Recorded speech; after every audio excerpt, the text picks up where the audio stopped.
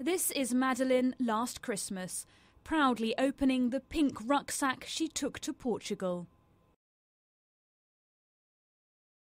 Today, Kate McCann spoke movingly to her missing daughter.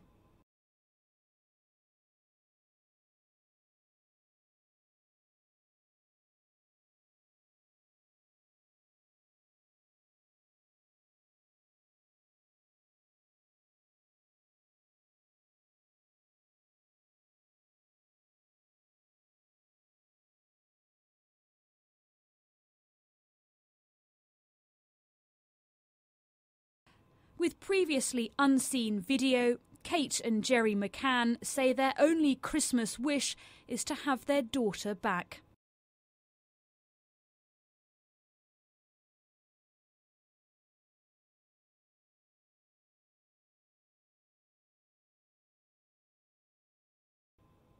It's now seven and a half months since Madeleine went missing from this Portuguese holiday resort.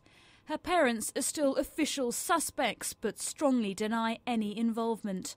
As Christmas approaches, those close to the McCanns say they've been overwhelmed by the support from well wishers around the world.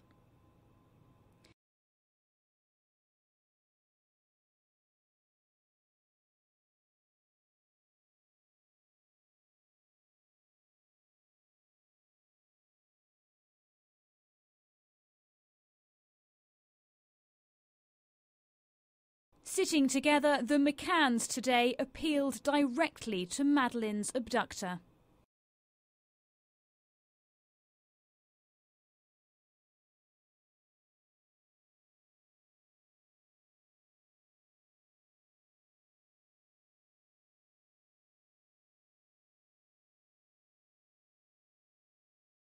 The couple now desperately hope these new pictures will pierce the conscience of those who know where their daughter is this Christmas. Laura Bundock, Sky News.